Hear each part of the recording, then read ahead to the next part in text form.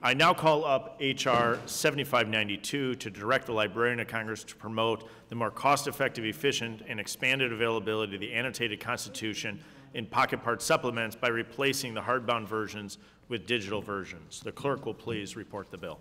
HR 7592. Without objection, the first reading, of the bill is dispensed with, and the bill is considered read and open for amendment at any point.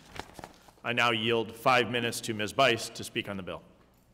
Thank you, Mr. Chairman. Uh, Several months ago, CRS asked for the Modernization Subcommittee's help in getting two legislative measures introduced. The first measure, H.R. 7592, will replace the Constitution annotated print requirement with the digital, with a digital requirement.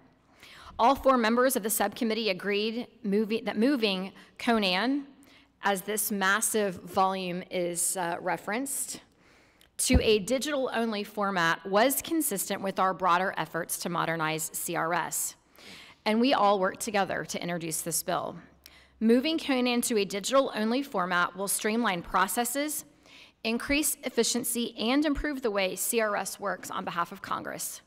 It'll also save taxpayer dollars. And the 2022 edition cost $1.25 million to produce. Meanwhile, an online version with real-time updates already exists and has millions of users.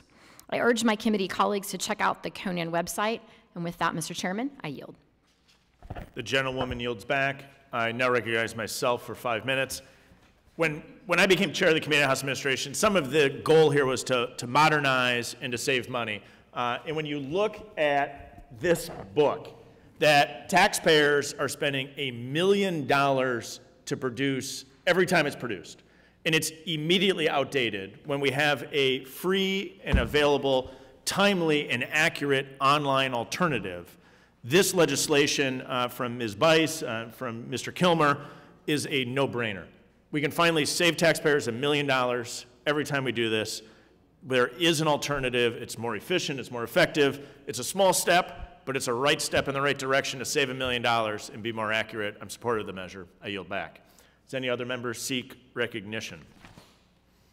The question now occurs on ordering H.R. 7592 repated, reported favorably to the House. All those in favor signify by saying aye.